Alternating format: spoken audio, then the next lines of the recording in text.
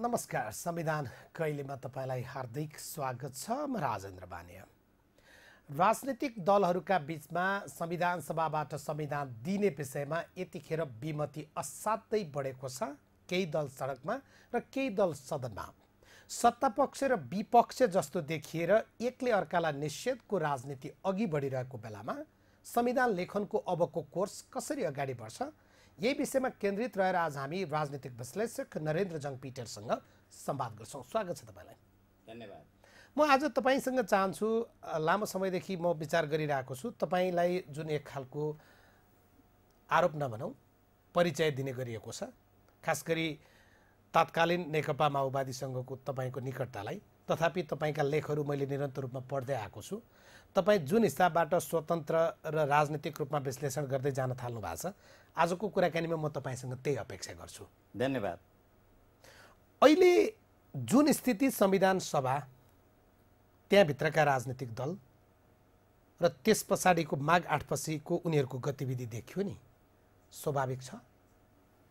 मलाई लाग्छ नेपाली राजनीति अत्यन्तै सङ्कटको अत्यन्तै घोप्टे भिरमा गएको अवस्थामा यो स्वाभाविक पनि हो कि अस्वाभाविक पनि हो अथवा स्वाभाविकताको बिचमा पनि घोप्टे भिरमा पुगेको हो कि अस्वाभाविकताको बिचमा हामीले द्वन्द्वलाई निम्ता गरिरहेका छौँ मैले यसलाई बैसठी त्रिसठी आन्दोलनले दिएको मार्गनिर्देशनलाई कतै कतै हाम्रो राजनीतिले दिशाबोध गर्न नसकेको अथवा आत्मबोध गर्न नसकेको हो कि? त्यसको परिणाम हामीले यो भू संवेदनशील राष्ट्रमा एउटा नयाँ तरिकाका काहीँ काहीँ अत्यन्तै पीडादायी अवस्था त कतै जाँदा पर्दै छैन कि भन्ने मलाई लाग्दैछ। भनेको तपाईँले राजनीति चाहिँ सही मार्गबाट अगाडि बढिरहेको छैन र कुनै न कुनै रूपको दुर्घटना चाहिँ मध्यनजर गरिरहनु भएको छ। मलाई त्यो लाग्छ। मैले एउटा तपाईँसँग तपाईँको लोकप्रिय मिडियाका सामुन्नेमा मैले भन्नै पर्छ कतै पनि भ्याकम अथवा शून्यता कतै पनि हुँदैन। शून्यतालाई पुरै परिपूर्ण गर्नलाई भुमरी आउँछ। त्यो भुमरी भनेको कुरा एउटा कसैले कल्पना नगरेको तरिकाले आउँछ। त्यो चाहिँ स्वाभाविक तरिकाले भन्दा बाहिरको तरिकाले पनि आउन सक्दछ। तपाईँले भनेको त्यो भुमरी संविधान सभाको त्यो चौघेरा भन्दा बाहिर पनि बाहिरबाट पनि। आउन सक्छ। बाहिरबाट पनि आउन सक्दछ र आज सम्भावना आवश्यकता र चुत्तो अनिवार्यताले स्वीकार गरिएको बैसठी त्रिसठीको मोमेन्टको बिचमा जो नेपाली राजनीतिले स्वीकार गरिएको परिस्थिति छ त्यसलाई जो हाम्रो डिस्कोर्स भयो जो अभ्यास भयो जो भूमिका खेलियो यो बिचबाट धेरै चिज अगाडि बढे।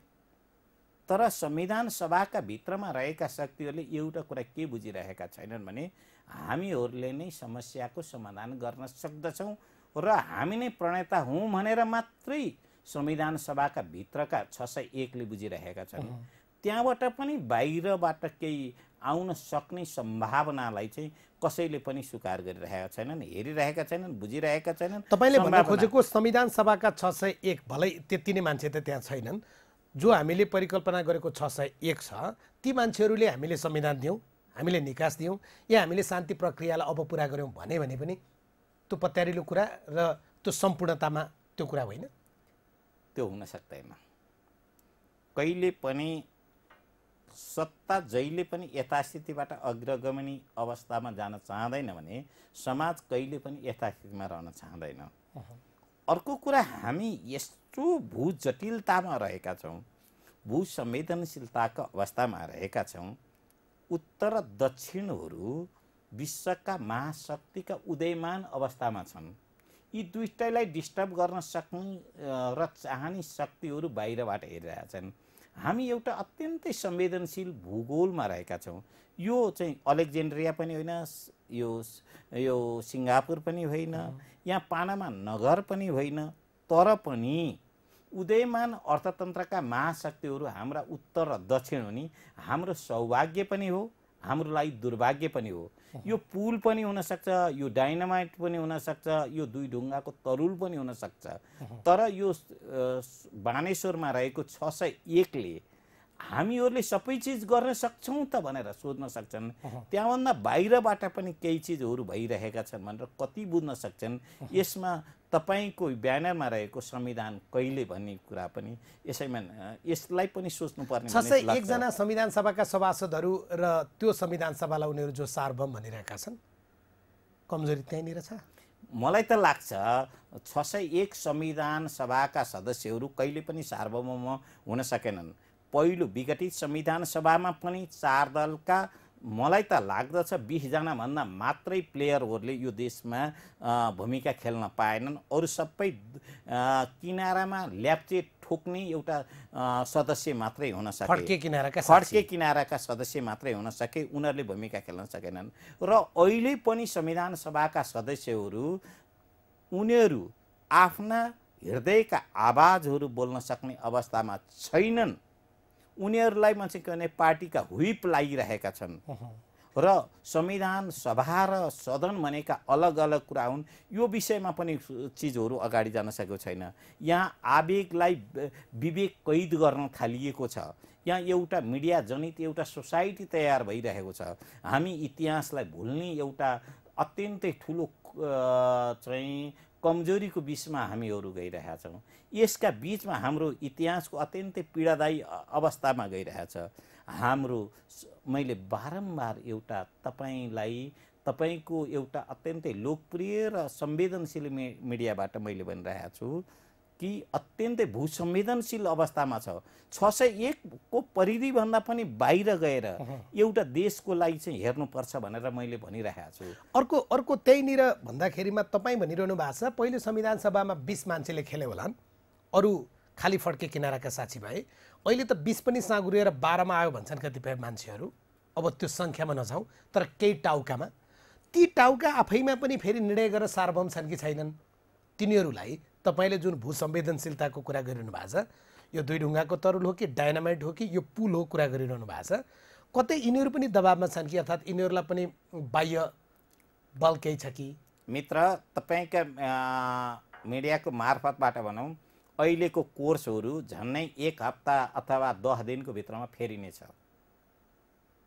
तपाईँलाई अहिले जुन अत्यन्तै बाघ तरिकाले उर्लिरहेका अ, शक्तिहरू आफ्ना धारणाबाट फेरिने अवस्थामा छन्। यो यो भूसंवेदनशील अवस्थालाई कसैले पनि डिस्टर्ब देख्न एकचोटि फेरि एकचोटि फेरि दोहोऱ्याउँ है नारायणजी।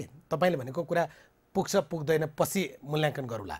तर आजको दिनमा तपाईँले भनेको आज नेपाली राजनीतिको र खास गरी संविधान लेखनको बाटो जुन मार्गबाट अगाडि बढिरहेको छ र जे भइरहेको छ र नेताहरू कोही बाघ चाहिँ कुर्लिरहेछन् कोही बिरालो चाहिँ म्याउ गरिरहेछन् तपाईँ भनिरहनु भएको छ यो परिदृश्य कुर्लने म्याउ गर्ने म्याउ गर्ने कुर्लनेमा या अन्य खालको परिवेश बन्नेछ दसदेखि पन्ध्र दिनमा? पन्ध्र दिन होइन। मैले त तपाईँलाई दस दिनको भित्रमा अहिले जुन तरिकाको संवेदनशीलता संविधान सभामा देखिराखिएको छ यो फेरि सहमतिको रूपबाट जानुपर्छ भन्ने अवस्थाबाट झन्नै दसैँ दिनमा पनि होइन त्योभन्दा पनि छिटै देखिनेवाला छ। के भएर देखिन्छ? सहमतिको रूपबाट देखिन्छ। वार्ता प्रक्रिया प्रारम्भ हुन्छ? यस हुन्छ। वार्ता प्रक्रिया मात्रै होइन। यहाँ यस्ता तरिकाका चिजहरू छन्। को को मान्छे कुन कुन आफआफ्ना शक्तिबाट आइरहेका छन् मैले देखिरहेको छु। होइन तपाईँलाई म अपडेटेड हुनुहुन्न भन्न सक्दिनँ र भन्ने धृष्टता पनि गर्दिनँ।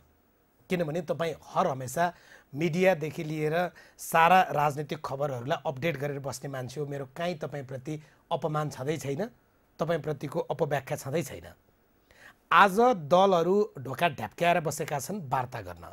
होइन हामी कुनै हालतमा बस्दैनौँ।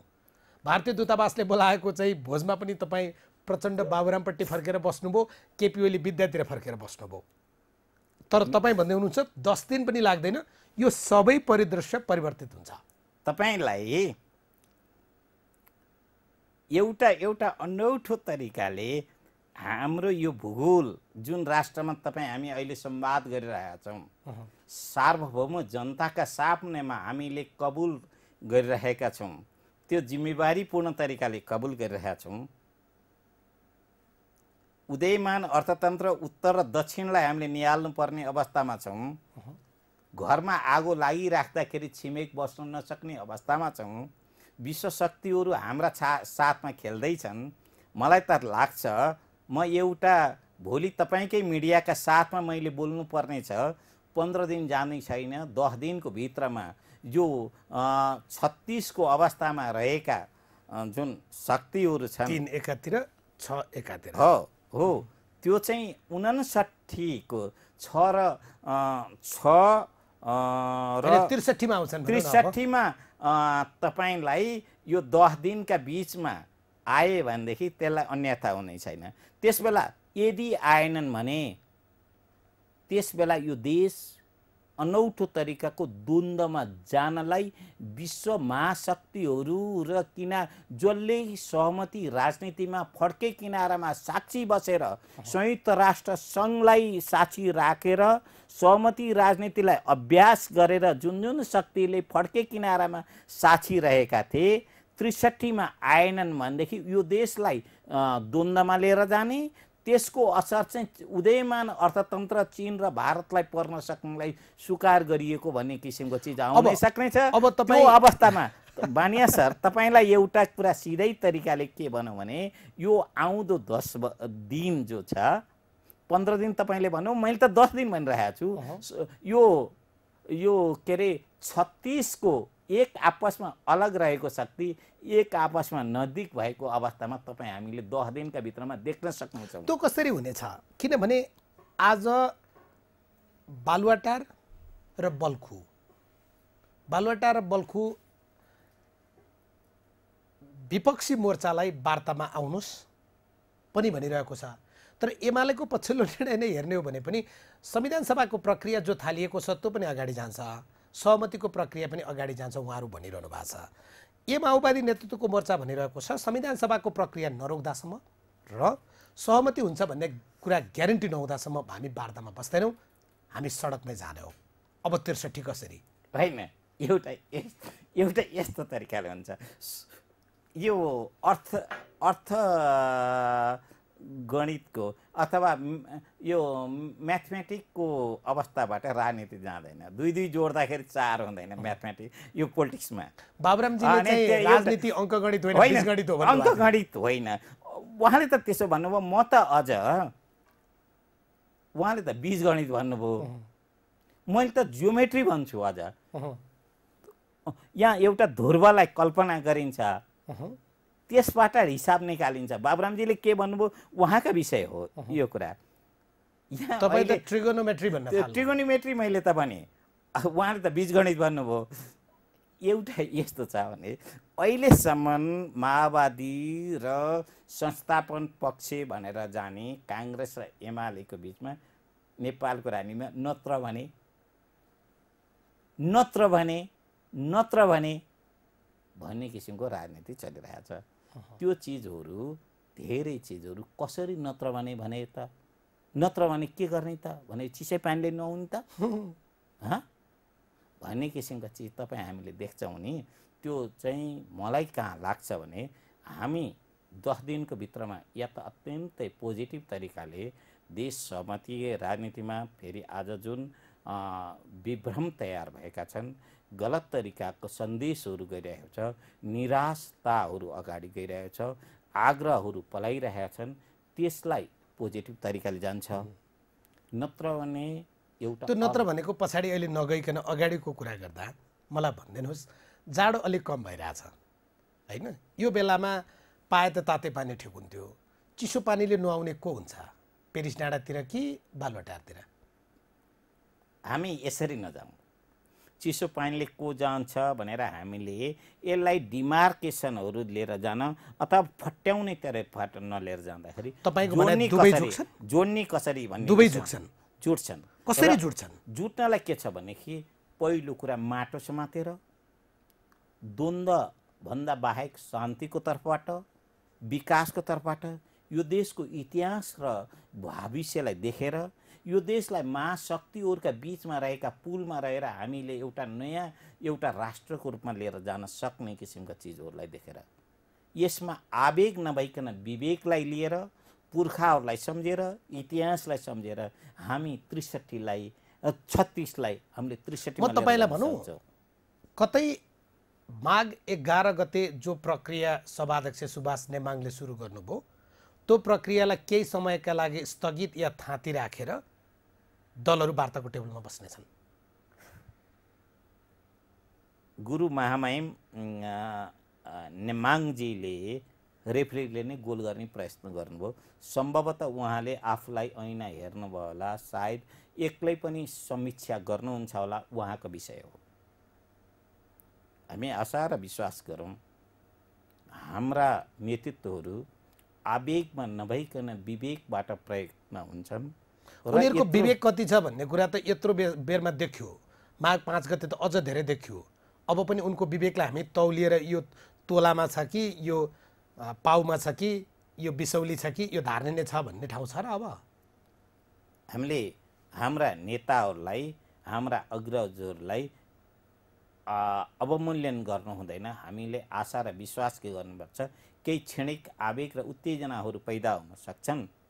तर उहाँहरूले माटो र इतिहासप्रतिको दुइटैलाई उहाँहरूले सम्झिनुहुन्छ। र उहाँहरूसँग रहेको अहिले राष्ट्रिय र अन्तर्राष्ट्रिय दबाबहरू तपाईँ हामी स्टुडियोमा बसेर कुरा गरिरहँदाखेरि उहाँहरूलाई कति छ? मैले दस दिनको समय आज तपाईँका बिचमा एघार दिनका बिचमा तपाईँसँग कुरा गर्दाखेरि नौलो परिवेशमा म कुरा गर्न सक्ने हुन्छु र म आशा गर्दछु। तर तपाईँ मलाई एउटा चिज भनिरहनु भएको छैन क्या? तपाईँ ममा एउटा कौतूहलता सृजना गरिदिइरहनु भएको छ। तर त्यसको मैले खोज्ने मेरो कौतूहलता अन्त गर्नका लागि मैले अनुसन्धान गरेर खोज्ने जुन मेरो अधिकार छ त्यो अधिकारको बाटो तपाईँ खोलिदिइरहनु भएको तपाईँसँग एउटा। कुरा भन्दैछु आज। पहिलोचोटि डिस्क्लोज गर्दैछु नेपाली मिडियामा। प्रचण्डलाई केही दिन पहिला भारतीय संस्थापन पक्षले एकातर्फ भारतीय स्वतन्त्र सङ्ग्राम स्वतन्त्रता गणतन्त्र दिवस मनाइरहेका बेलामा प्रचण्डलाई भारतीय संस्थापन पक्षले आतिथ्य गर्नलाई दिल्लीमा निम्ति आएको थियो। मेरो विश्वसूत्रबाट थाहा भए अनुसारमा देशमा संविधान सभामा अत्यन्तै तरिकाले विवादहरू चलिरहेका थिए। संविधान सभाले एउटा नयाँ रूप लिन जान चाहँदै थिए। उनले एउटा सम्मानपूर्वक तरिकाले भारतीय निम्तालाई उनले धन्यवाद भन्दै अस्वीकार गरे। अस्वीकार नभने असहजता र हाम्रो व्यस्तता कुरो त्यही हो। होइन तपाईँको भाषा हो अस्वीकार भनेको त। मेरो भाषा त मैले भन्न पाउँछु नि त। र उनले नेपाली व्यस्तता भनेको कुरा मलाई विश्वसूत्रबाट थाहा छ। त्यस पछाडि उनी गएनन्।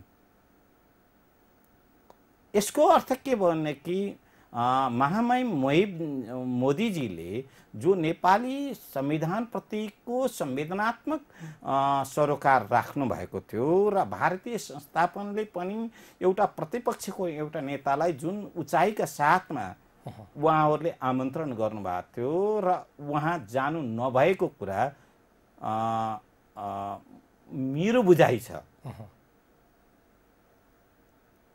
अब नेपाली राजनीतिमा त्यसले पार्ने प्रभाव बाछिटा। बाछिटा एउटा के छ भनेदेखि हामीहरूका बिचमा कसो हो भन्नुहुन्छ भने तपाईँ मलाई कुरा खुलाइदिन गाह्रो गाह्रो मानिरहनु भएको छ। होइन खुलेर भन्नुहोस् न। होइन बाछिटा भनेर भन्नु तपाईँसँग केही रहस्य भने खुलेर भनिदिनुहोस्। होइन मैले। तपाईँलाई नेपाली मिडियाका साथमा पहिलोचोटि यति डिस्क्लोज गरेँ। एउटा कुरा। हामीले नाता फेर्न सक्छौँ छिमेक फेर्न सक्दैनौँ। सही। त्यसो हुँदाखेरि हामीसँग दुईटा छिमेकी मित्र राष्ट्रहरू उदयमान विश्व महाशक्तिहरू हुन्। त्यसका बिचमा हामीसँग बसेका मैले बारम्बार तपाईँसँग र तपाईँका मिडियासँग पनि के भने हाम्रो लागि सौभाग्य पनि हो र हाम्रो समस्या पनि हो। तपाईँले आज हाम्रो दक्षिण पछि पट्टिको छिमेकीको जो हामी कुरा गरिरहेका छौँ अहिले उसको संविधान लेखन प्रक्रियासँग के खालको राय छ भन्ने कुरा त ट्रमा सेन्टर उद्घाटनको बेलामा मोदीले बोलेको र अहिले तपाईँले भनिरहेको विषयले पनि धेरै कुरालाई इङ्गित गर्छ होला। होइन? हो। हो। तपाईँसँग मैले दक्षिणता हाम्रो बिचमा तिनतिरबाट जोडिएको र हामीलाई भारत बेष्टि- बेष्टित देश पनि भनिन्छ। भूपरिवेष्टित मात्रै नभने भारत बेष्टित देश पनि भनिन्छ। धेरै धेरै धेरैतिरबाट पनि। भारत बेष्टित देश पनि भनिन्छ। हो निश्चित कुरा हाम्रा समस्या पनि उनीहरूका पनि समस्या हुन सक्छन्। हामी आशा र विश्वास गर्छौँ उहाँहरूको पोजिटिभ एटिच्युड सकारात्मक दृष्टिकोण हामीलाई हाम्रो राष्ट्रियतालाई हाम्रो भावी इतिहासलाई हाम्रो भावी संविधान कहिले लेख्ने भन्ने विषयलाई पनि सरोकार राख्दछ र हामी आशा र विश्वास गर्छौँ भने यो विषयमा पनि सरोकार राख्छ र मैले यहाँ धेरै कुरा भन्दाखेरि दस दिनमा आजको जुन सेन्सिटिभ अवस्था छ आवेगमा जा गएर विवेक त्याग गर्ने मानिसहरूलाई पनि दस दिनको बिचमा धेरै चिज फेरिँदाखेरि यो चिज अनौठो त कतै हुँदैन भन्ने प्रश्नहरूको उत्तर दिनेछ हामीहरूको एउटा समय थियो हामी काठमाडौँबाट गाउँमा आमा बाला चामल मगाउनु पऱ्यो भने हामी पत्र लेख्थ्यौँ। हुलाकी दाईले धेरै दिनपछि पत्र पुर्याइदिनुहुन्थ्यो गाउँको पढे बुझेको मान्छेले पढेर सुनाइदिनुहुन्थ्यो होइन? त्यसरी हाम्रा परिवारले खबर पाउँथे उहाँहरूले पनि हामीलाई त्यसरी नै पत्र लेख्नुहुन्थ्यो। अब जमाना त्यस्तो रहेन। होइन हामीले फेसबुक ट्विटरमा मात्रै। होइन इमेलदेखि लिएर गएर अब- अब- टेलिफोनबाट पनि गर्छौँ अहिले त होइन बाबा आमासँग स्काइपीमा पनि कुरा अहिले। ओबामा र मोदी पनि त्यसरी नै टेलिफोनमा गफ गर्नुहुन्छ अरे अस्ति थाहा भयो होइन हाम्रा नेताहरूलाई मेरो प्रश्न अलिक फरक प्रकारको रह्यो क्या तपाईँलाई हाम्रा नेताहरूलाई एसएमएस आयो एमएमएस आयो उहाँहरूलाई के आयो त्यो चाहिँ कस्तो छ म तपाईँलाई सोध्न लागेको एउटा पक्षलाई तिमी कुनै पनि हालतमा जे बाटो हिँड्न खोजिरहेका छौ गलत बाटो जाँदैछौ तिमीले विपक्षीहरूलाई छोडेर जान सक्दैनौ सहमतिका लागि तिमी बोलाऊ तिमी संस्थापन पक्ष हो भन्ने। र अर्कोलाई तिमी घुर्क्याएर धम्काएर आज सडकमा जानेर विद्रोही व्यवहार देखाउन सक्दैनौ तिमी उनले बोलाएको ठाउँमा नाइ नाइ भन्दै भने पनि जाऊ। मैले भनेको कुरा ठिकै हो कि फरक छ? तपाईँले एउटा यो हिन्द महासागरीय राजनीतिकै गम्भीर प्रश्नहरू राख्नुभयो। यसलाई अहिले भर्खरै तरिकाले राजा पक्षको पराजयलाई हामीले श्रीलङ्कामा पनि देख्न सक्छौँ र अहिले भुटानको इलेक्सनको परि पराजयलाई पनि देख्न सक्दछौँ। यो चारवटा टोकरामा चाहिँ फुल राखिएको छ। त्यो फुल एउटैको हुन्छ कोरल नै कुको हुन्छन् भन्ने किसिमका कुरा राखे जस्तो पनि हुन्छ। यो बृहत प्रश्नहरू हो। अब एकैचोटि दसवटा चारवटा शक्तिहरूलाई पनि खेलाउने हो नि शक्तिहरू आफआफ्नै स्थिति हुन्छ। अब तपाईँ हामीले थमस बेलको द काठमाडौँ पढिरहेको अवस्थामा तपाईँका प्रश्नमा छोटो राख्नुभयो तर पनि धेरै उत्तर दिनुपर्ने अवस्था हुन्छ। सीमा समस्या तपाईँको समयको अवस्था र यो तपाईँको लोकप्रिय र संवेदनशील मिडियाबाट धेरै कुरा बोल्न सकिँदैन। तपाईँ उनीहरूले आज के भनिरहेका छन् के सन्देश पठाइरहेका छन् भन्न चाहनुहुन्न? होइन न मैले तपाईँलाई एउटा कुरा ढुक्कका साथमा भने। सहमति हुन्छ। सहमति हुन्छ।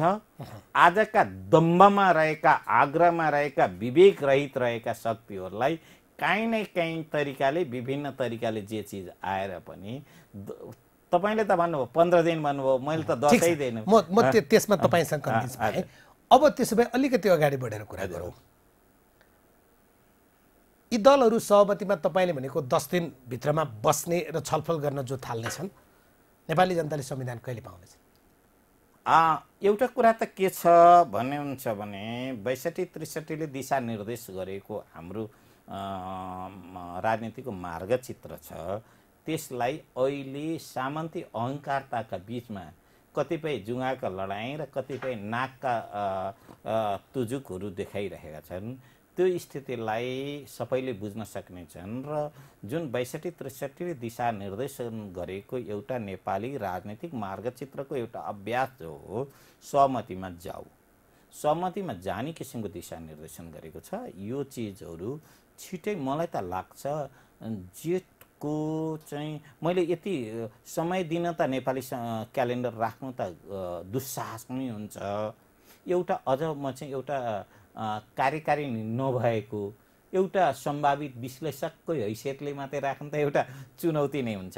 तर पनि मलाई लाग्छ जेठको भित्रमा जेठ पन्ध्र। अब मैले पन्ध्र बिस त नभनौँ जेठको बिचमा चाहिँ जान सक्छ होला भन्ने मलाई लाग्छ। त्यो सहमतिको संविधान हो त्यो दुई तिहाईको संविधान होइन।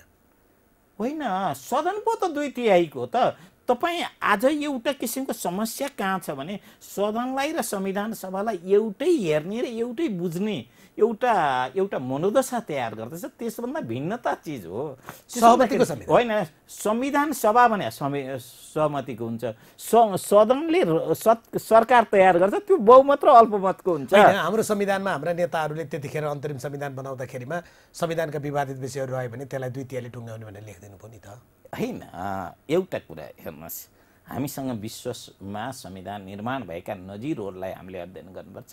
हामीलाई अहिले एउटा तपाईँहरूको लोकप्रिय मिडियाबाट पनि कहिले कहिले कहाँ कहाँ समस्या कहाँ देखाएको छु भने आवेगजन्य तरिकाले अंशमा खेल्ने समग्रमा हेर्नलाई प्रेरित नगर्ने मनोविज्ञान छ क्या। संविधान सभा र सदन भनेको फरक हुन्। संविधान सभा दुनियाँमा कहाँ कहाँ के के भए कसैले पनि अलग तरिकाको नजिर नराखोस् काहीँ पनि सकभर असन्तोषका स्व- स्वरहरूलाई त्यहाँबाट हामीले समाधान गरियोस् भन्ने किसिम हुन्छ क्या संविधान सभामा? मानौ ठिक छ। तपाईँले मलाई एक शब्दमा भनिदिने उत्तर चाहिँ अब प्राप्त हुने संविधान अधिकतम सहमतिको संविधान हुनेछ। किनकि पूर्ण सहमति भन्ने कुरा त त्यहाँ चित्रबहादुर हो हो हो अधिकतम सहमतिको संविधान। जो संविधानभन्दा बाहिर रहेका शक्तिहरूलाई पनि संविधानका भित्रमा ल्याउने प्रयत्न संविधानको सार्थकता सन्दर्भ यही हुन्छ। तर संविधान आउँछ? आउँछ र आउनुपर्छ। हस् धन्यवाद। धन्यवाद यहाँलाई। नरेन्द्र जङ पिटर आज हामीसँग हुनुहुन्थ्यो। उहाँसँगको यो संवाद नेपाली राजनीतिमा जो खालको विवाद नेपाली राजनीतिमा जो खालको तिक्तता र नेपाली राजनीतिमा दलका नेताहरूका बिचमा जुन प्रकारको अहिले विपरीत ध्रुवतर हेर्ने र फर्कने जुन दृष्टान्त देखिएको छ यो केही दिनमै परिवर्तन हुनेछ र फेरि पनि नेपाली राजनीतिले सहमतिको यात्रा थाल्नेछ। उहाँको यो भनाइ नेपाली जनताको अपेक्षा पनि हो र यो अपेक्षा राजनीतिक दलहरूले पुरा गरून्। यो प्रसङ्गसँगै संविधान कहिलेको आजको श्रृङ्खला यहीँ सकिन्छ। खबरभित्रको खबरका लागि हेर्दै रहनुहोला एभेन्युज टेलिभिजन। नमस्कार।